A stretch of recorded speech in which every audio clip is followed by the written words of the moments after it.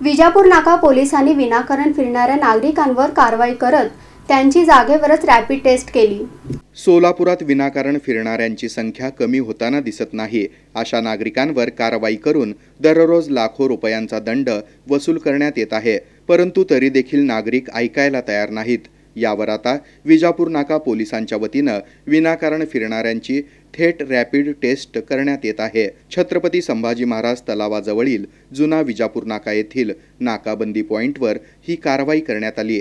याबाबत विजापूर नाका पोलीस ठाण्याचे वरिष्ठ पोलीस निरीक्षक उदयसिंह पाटील यांनी अधिक माहिती दिली.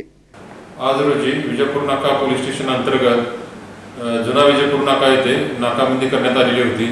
सदर नाकाबंदीच्या दरम्यान जे विनाकारण फिरणारे किंवा डबल शिफ्ट फिरणारे जे नागरिक आहेत त्यांची रॅपिड अँटीजेन टेस्ट करण्यात आलेली आहे. असे पंचवीस जणांची आतापर्यंत टेस्ट करण्यात आलेली आहे. त्यापैकी सगळे निगेटिव्ह आलेले आहेत. विनाकारण फिरणाऱ्यांच्यावर दंडात्मक कारवाई करण्यात येत आहे. सदर कारवाई ए पी आय कोल्हाड आणि त्यांची टीम करत आहे.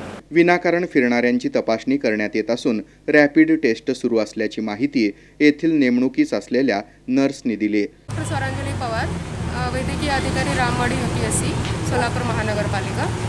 जिकडे विजापूर नाका आमच्या एरियामध्ये येतो तसेच नंबर एक आणि नंबर दोन झोपडपट्टी हा त्याच्या लागून येणारा एरिया.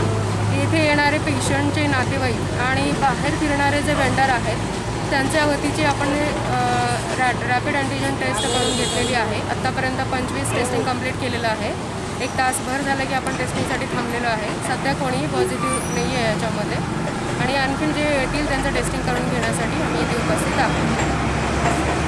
सोलापुरात विनाकारण फिरणाऱ्यांवर दंडात्मक कारवाईबरोबरच त्यांची थेट रॅपिड टेस्ट करण्यात येत असल्यानं रस्त्यावरील गर्दी कमी होण्याची चिन्ह आहेत.